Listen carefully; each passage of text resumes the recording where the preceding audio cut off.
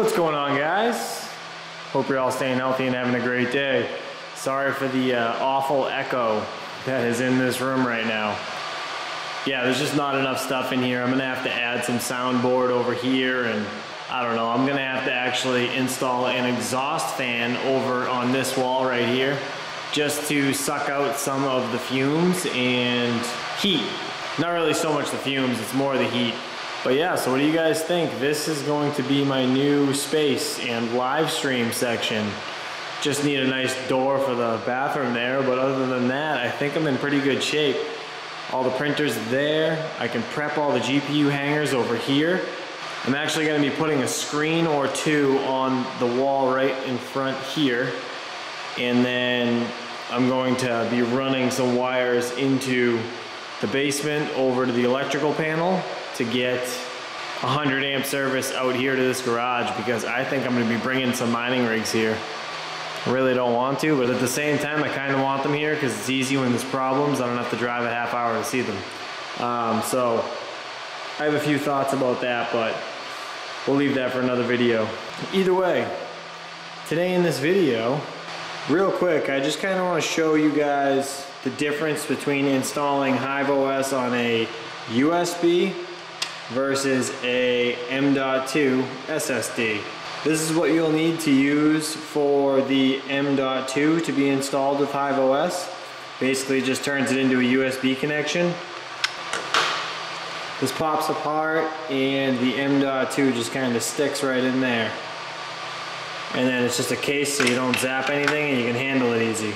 Alright, so to be honest, I've gotten a lot of questions about like which one you should use, if one's better or not.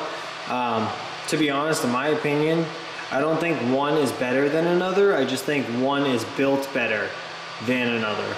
Um, SSDs or M.2 SSDs, they're made to have constant rewrites and USBs are not made to be constantly used. This is built to carry a Windows operating system. A SanDisk USB is really not built for that purpose. So you're using something that it's not really intended to be used for.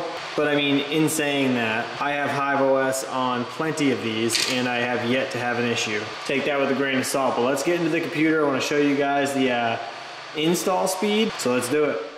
All right, so here we are. What we wanna do is go to Chrome. All right, so first you wanna Google search Balena Etcher and download this program for your PC. Okay, right here, download for Windows. Obviously, go through all the prompts and download it onto your computer properly. Then, once you have it downloaded, let's go to hiveos.farm slash install. And what you're going to do is download this GPU zip file. Once you have the HiveOS file downloaded, you want to open up Balena Etcher double click it, the screen pops up. Then you're going to choose flash from file. You're going to go to your downloads folder, find the folder or find the file you just downloaded and click open. You want to select the target. 32 gigabyte SanDisk is what I put in there. All right, let's see how long this takes. We are going to flash this USB right now and time it. All right, time. So it took 17 minutes and 48 seconds to flash this drive. All right, so as you can see, flashing the USB worked. So now let's put in the M.2 SSD and see how much faster it is to download HiveOS onto.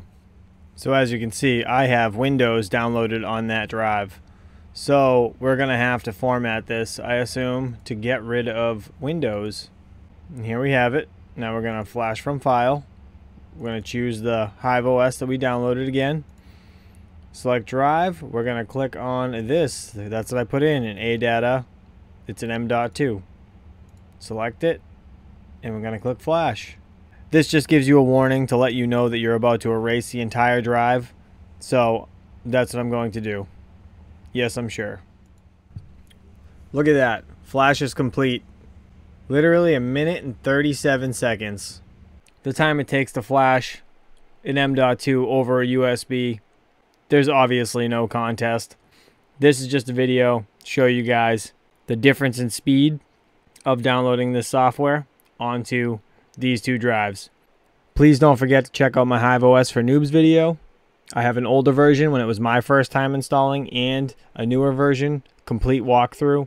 I will link it above. Also, if you guys have any questions, please feel free to join our Misfit Mining Discord group. There's plenty of people in there that will be happy to help you. Please stay safe, and I'll see you guys next time.